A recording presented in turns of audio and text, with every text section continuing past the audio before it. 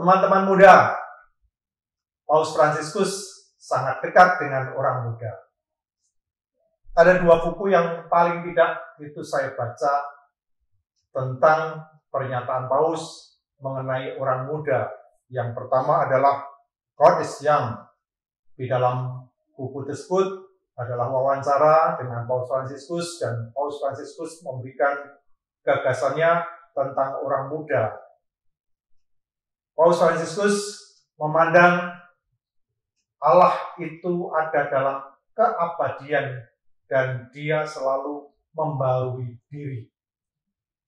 Oleh karena itu, Paus mengatakan bahwa ciri orang muda itu menjadi ciri spiritualitas kita sama seperti Allah yang muda, maka dia menyukai sesuatu yang wow, itu tidak hanya sekedar yang biasa-biasa saja.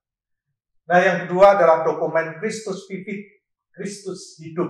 Ini adalah dokumen khusus untuk orang muda, di mana Paus Fransiskus di sana juga tadi menggarisbawahi tentang kemudaan Allah apa pun yang disentuh oleh Allah menjadi mudah. Nah, dalam kesempatan hari ini saya ingin berbincang dengan Jennifer Odelia, salah satu orang muda yang aktif dalam media sosial. Ya, apa kabar Jennifer? Baik, Tomo. Gimana kamu kabarnya? Luar biasa. Kamu gimana? Luar biasa Luar juga biasa dong. Juga. Sama, sama. Lama gak jumpa kamu sekarang? Kegiatanmu apa? kegiatannya lagi belajar mau forever student oh ya forever student lagi S2 di Binus Business School lagi nulis tesis oh, dikit ya. lagi selesai dulu kan sebelum di Binus ada dulu kuliah di UMN ya iya kuliah S1 nya di situ oh. kemudian juga aktif di media sosial ya sekarang iya. followernya berapa Waduh, to the point banget ya. Oh iya.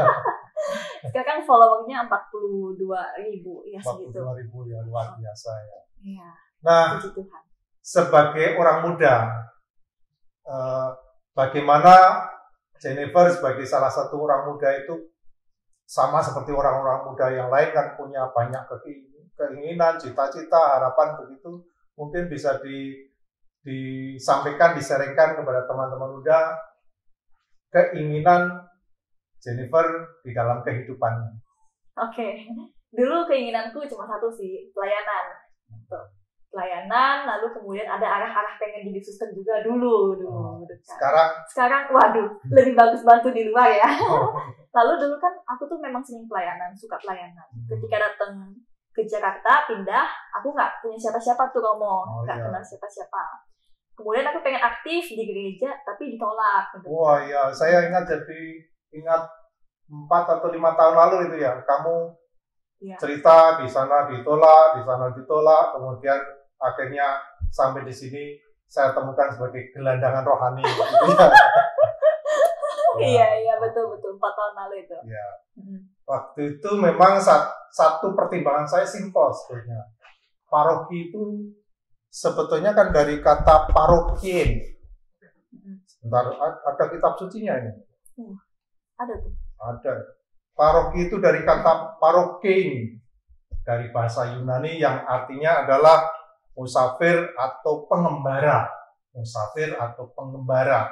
Dan Paulus menuliskan di dalam surat Rasul uh, di dalam suratnya kepada umat di Efesus itu menuliskan dalam dalam ungkapan negatif gitu ya.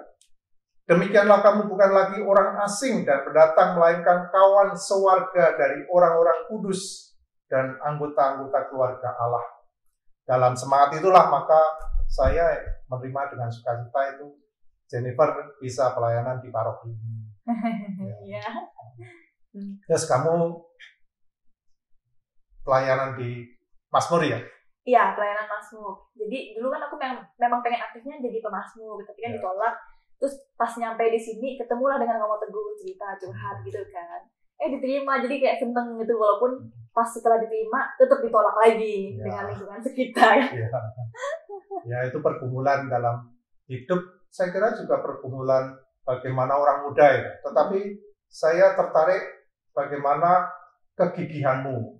Meskipun ditolak di sana di sana kemudian juga dalam pelayanan di sini itu nggak gampang. Saya tahu nggak gampang karena aturan mengenai ini. Uh, yang boleh pelayanan adalah umat lokal gitu apalagi kemarin pandemi begitu. Tetapi kamu punya kegigihan. Nah dimensi ini perlu diceritakan bagaimana kegigihanmu sebagai orang muda. Ya jadi waktu itu kan pas ditolak tuh ngomong tuh kan. Hmm. itu kan tadi cuma cerita di doang. Hmm. pas ditolak-tolak itu aku mikir kan kayak ribet banget ke gereja buat aktif gitu kan. Lalu aku bertanya-tanya pada diri sendiri, gimana ya caranya supaya aku bisa pelayanan tapi nggak usah ke gereja? Karena waktu itu kan aku ngekos ngomong ngekos yeah. kuliah. Kuliahku juga di kafe ngomong. Hmm. tiap apa tiap minggu tuh pasti ada aja pengeluaran. Dan kalau misalnya ke gereja tuh kayak jauh gitu kan. Dan itu hmm. menguras uang jajan juga. Jadi ya udah gimana caranya ya? Akhirnya dengan bekal ilmu yang aku pelajari waktu itu sebagai anak kafe pegang kamera dan macam-macam ya udah aku mulai dari situ tuh. Lalu aku bertanya-tanya kan. Pada tahun 2018 ngomong itu masih ba jarang banget konten-konten Katolik gitu kan. Banyak kan dari teman-teman sebelah gitu kan jadi aku mikir kalau misalnya mereka bisa kenapa kita tidak gitu dan aku ya udah mulai aja coba aja gitu kan dengan sebelah oh, iya, waktu itu adanya. followermu kan baru 1700 waktu Aduh. itu kemudian hafal banget terus akhirnya kamu banyak membuat konten-konten Masmur itu ya, iya, lagu-lagu Masmur, kemudian konten-konten lagu-lagu nyanyi-nyanyi rohani, kemudian akhirnya berkembang, bertumbuh. Gitu iya. Ya. Dari nyanyi-nyanyi dulu sih lebih tepatnya Romo, oh. karena aku jujur banget nggak tahu banget lagu-lagu duniawi, lagu-lagu pop, cinta-cinta oh. tuh aku nggak tahu. Aku cuma taunya oh. lagu ini, lagu rohani. Suci sekali. gitu, jadi oh. apa? Aku juga kayak bingung kan waktu itu kan. Hmm. Kalau misalnya aku posting lagu rohani, laku nggak ya ada yang nonton nggak ya ada yang denger nggak ya tapi hmm. ya itu ya itu yang aku punya gitu jadi ya udah aku nyanyi aja eh puji Tuhan diterima sama teman-teman di media sosial ya.